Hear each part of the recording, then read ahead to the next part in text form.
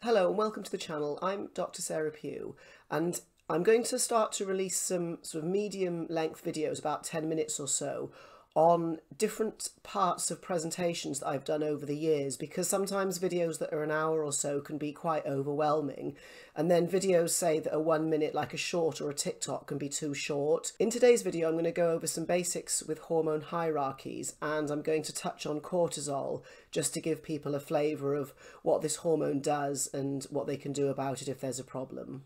Okay, so here we have a hormone hierarchy, and what it's basically showing is that certain hormones have power over others.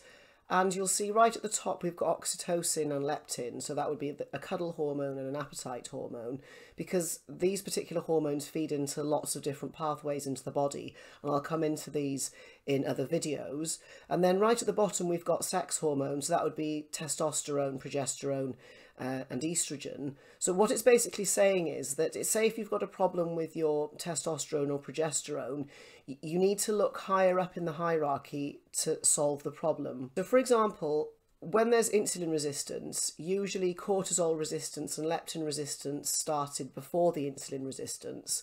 But today we're going to talk about cortisol briefly because cortisol is a made in the same pathway as progesterone, testosterone and estrogen. It's made from pregnenolone. And because it's that important that we die without it, our bodies are always going to preferentially make cortisol. So as I said, uh, cortisol is a hormone that we would die without.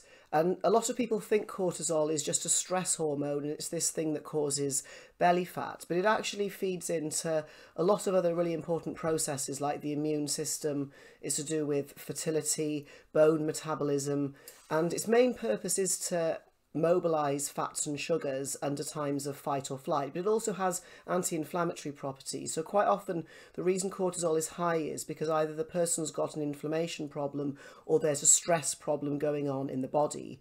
So with cortisol, there's a problem when there's either too much of it, which would be high stress, or not enough, which would be adrenal fatigue, or another way of putting that would be cortisol resistance. As I said, cortisol is a stress hormone and it's not trying to do anything nasty like kill you. It's trying to help you under times of stress. So obviously if it's a daily life problem and you've got high cortisol, that's a different issue.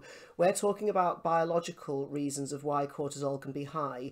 So the first one is, say if people are eating a lot of sugar and a lot of carbohydrates, this is causing insulin to shoot up and then that's going to cause the blood sugar to drop. So the cortisol is going to shoot up again in order to balance the blood sugar. So blood sugar roller coasters can cause cortisol problems. But the main problem is that I've found with cortisol issues or when people have got broken or malfunctioning or out of sync body clocks. So that would be, say, from exposing themselves to too much blue light during the day, being on the computer or watching television in bed until 2 a.m. because cortisol and melatonin work together.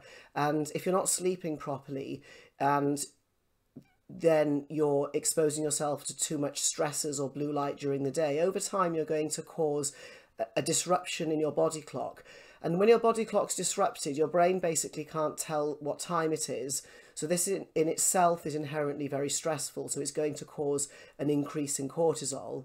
I mentioned at the beginning that uh, there's a really important hormone called pregnenolone which has anti-aging properties and cortisol ultimately gets made from this. So if you do have a cortisol problem, you're going to notice things like issues with your progesterone, issues with your sleep, and there are multiple ways to deal with the cortisol issue and over the years of looking at different supplements and things yes ashwagandha and glycine can help in the short term but fundamentally you need to address the root cause and quite a lot of the time it is a body clock issue because every single person can do something about their body clock. You don't need to have a lot of money to be able to get up and see the sunrise, to avoid screens in the evening, to make sure that you get regular sunlight throughout the day to reset your body clock and ground.